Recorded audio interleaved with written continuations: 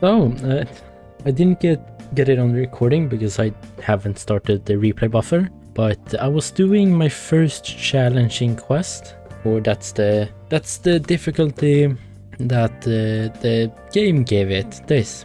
And I did it, but I also got the Vegeta. So that's cool.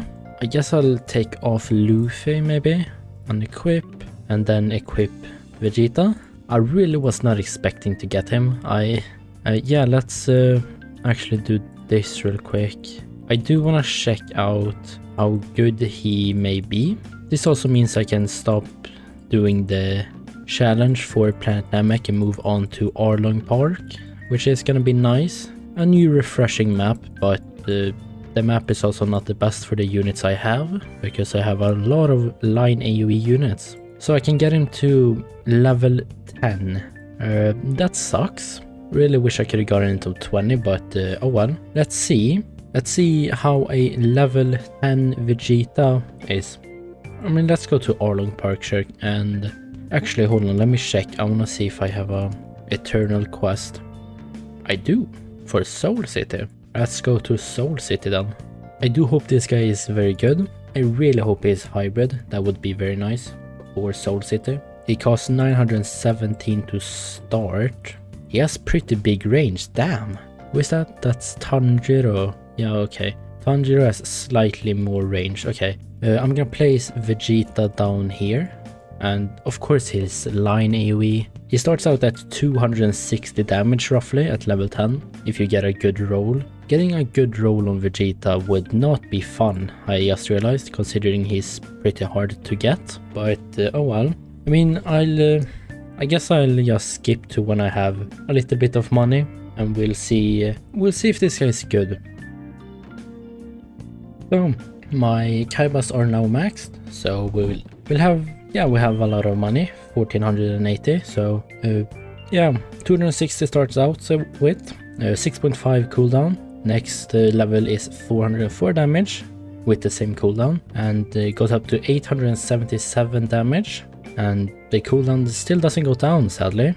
1500 and now on upgrade 4 we get a new attack. Galick gun. This is probably gonna be a uh, line AoE or a circle. It is a full AoE okay. Uh, he's still ground sadly so but his damage is now 3000 and his cooldown is 8 so when you get when when you get Galick gun with my stats he deals uh, roughly 384 DPS, which I don't know if that's specifically good. I do believe that's slightly above my Zoro, so that's nice.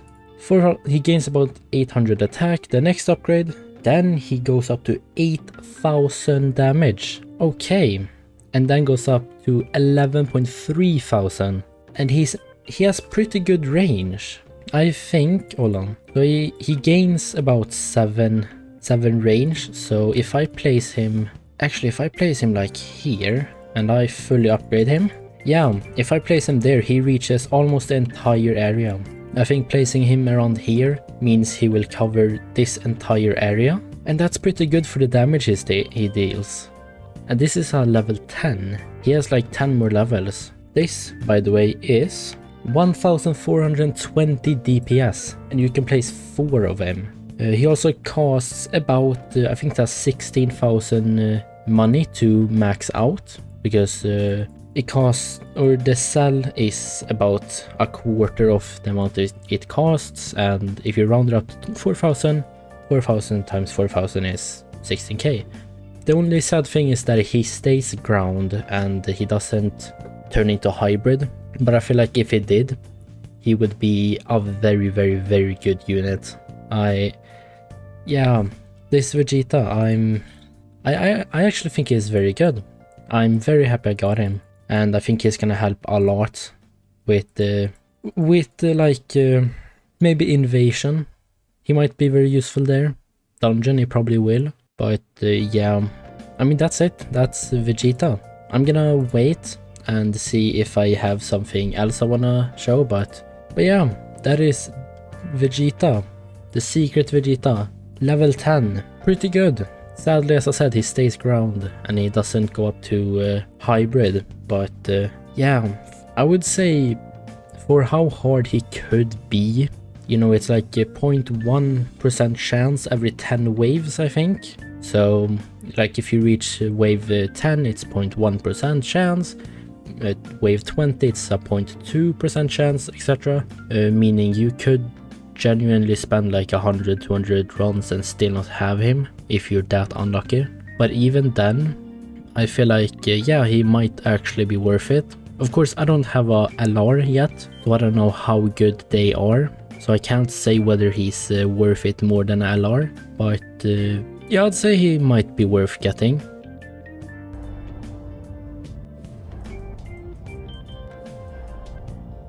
Okay, hey, my first LR. Okay, I was not... I mean, I say this a lot, but I was not expecting that. So, LR Byakuya. Okay, apparently it's a good dungeon unit from what I've seen, or seen people say. So yeah, that's gonna be interesting. I'm probably gonna replace him with the Tanjiro, because, well, I think Zoro is slightly better and he's a hybrid. And ever since I got Vegeta, I've been kind of struggling with uh, with air, so I need hybrids. Okay, so Kaiba has been maxed, so it's time to check. How good is uh, an unevolved or unawakened uh, Byakuya? First all, has better range than Vegeta, so that's nice. Starts out at, as ground and has a lot more damage, but also a little bit higher cooldown, which is a shame. But uh, he is a circle AoE and not a line AoE. I'm very very happy about that. I don't like the line AoEs. Next upgrade is 1755. The upgrade after that is uh, 2682 and then the upgrade before which I assume is getting a new new attack is 3121 and yeah the next upgrade is indeed a whole new attack with 6000 he gains 1000 cuts which is probably gonna be a line AoE. It's a line AoE but 1000 cuts he goes down to 7.5 7.7 cooldown and has 5.852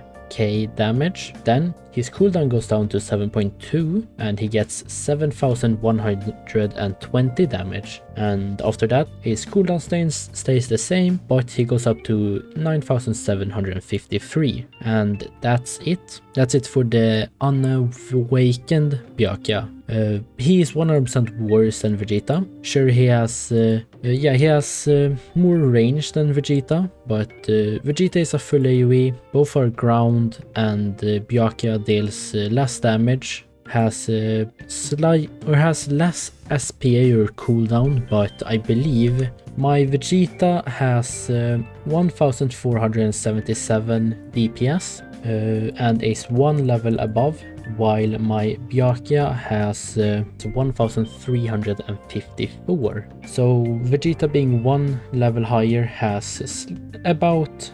123 more DPS and I don't think one level is gonna fix that so uh, and we are about to die because I'm not gonna place any units back there. But yeah, that's unevolved Byakuya. I'm gonna try to get him evolved as soon as possible. Hopefully I can do the soul dungeon and we'll see a updated Byakuya. Yeah, as I said, hopefully as soon as possible. But uh, yeah, that's that's been the video. Got Secret Vegeta and uh, an LR Byakuya in one video. That's actually pretty cool. Sadly, I didn't get me getting Vegeta on video, but I did get Byakuya. But uh, yeah, as I said, that's it for this video. Hope you enjoyed it in some way, shape or form. If you did, nice. If you didn't, not nice I guess. Leave a like if you did, leave a dislike if you didn't. And I hope to see you in another video.